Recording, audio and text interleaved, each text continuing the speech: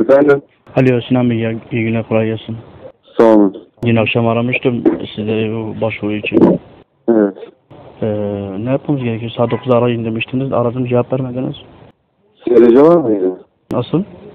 SRC. Hı hı, serece psikoteknik hepsi var abi. Kaç var SRC? 2 ve 4. İki ve dört. Yaş kaçtı? Nasıl? Yaş kaçtı? Yaş 39. Şartları söyledim mi abi ben size? Yok abi. Tamam bana WhatsApp'tan yazın. Ben size iş şartlarını söyleyeyim. Ee, olumlu olursa bana beni çok atmak lazım. Ee, şu an siz belediyede misiniz? Evet. Ha, o zaman oraya mı geleceğiz başvuru için? Evet. WhatsApp'tan bana yazın. Ben size iş şartlarını söyleyeyim. Eğer olumlu olursa gelirsiniz. Tamam. İsmi Tamam. geçiyordu? Sinan Özgür. Özyurt, belediye. Evet. Evet. Tamam. Hangi bölümdü? Hakları. İnsan hakları. Evet. Tamam, sağ olun, iyi günler.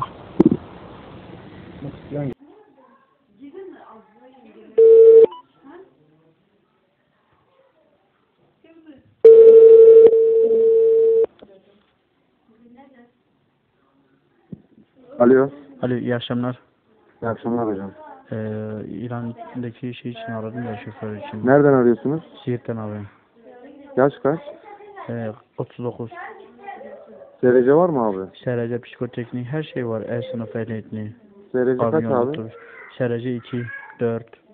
Hepsi var abi. Anladım abi.